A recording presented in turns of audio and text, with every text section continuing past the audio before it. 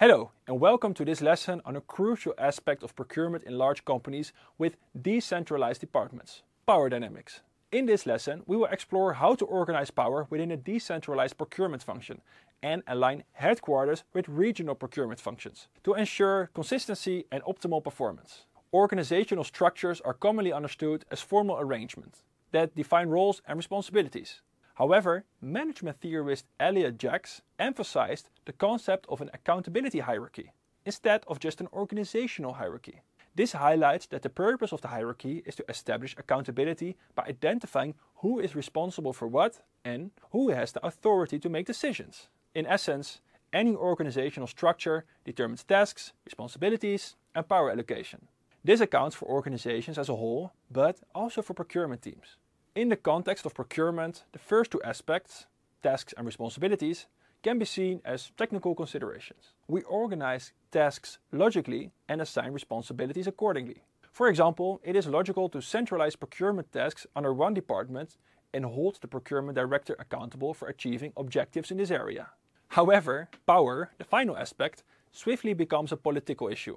Since discussions about power tend to be uncomfortable, they are often presented as technical concerns of finding the most logical organizational structure. Yet, when it comes to power, individuals often seek solutions that benefit them personally, rather than focusing on what is genuinely best for the organization.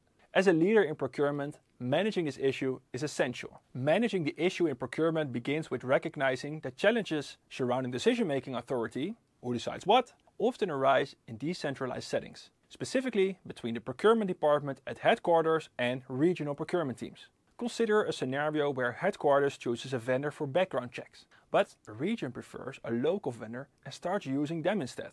Does the region have the right to make that decision?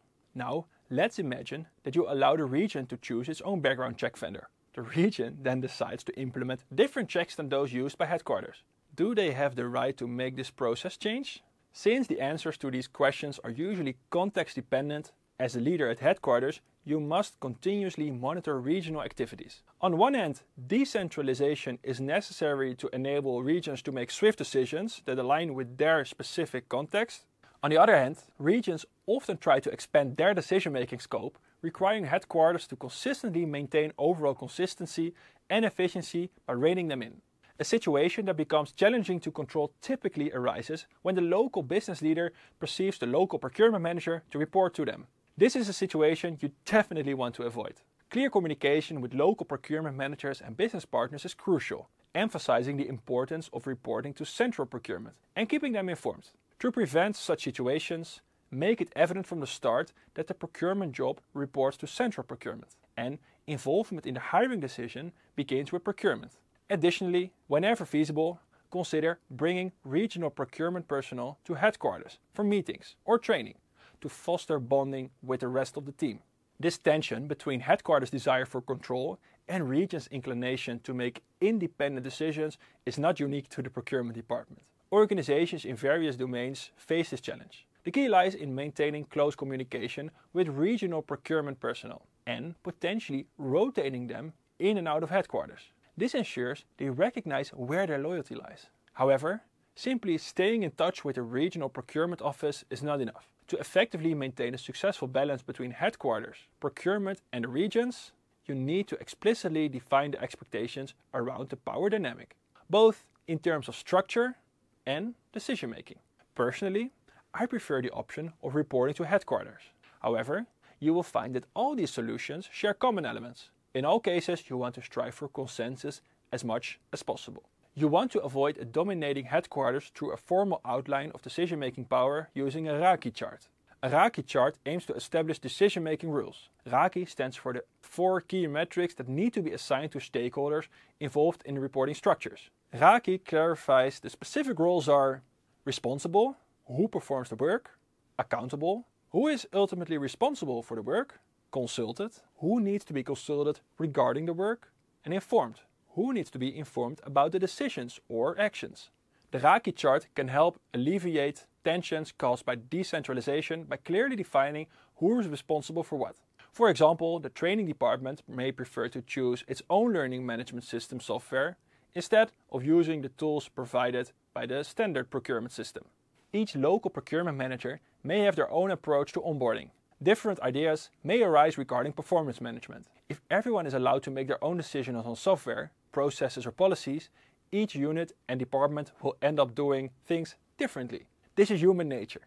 Moreover, other regions may be doing the same, resulting in increased costs for the company. By using RACI, you can strive the right balance between departmental autonomy and central control, ensuring everyone is on the same page. These metrics can also be helpful in managing power dynamics within small teams or organizations where expectations may not be clear. However, it is important to note that there will always be gray areas open to interpretation and disagreement.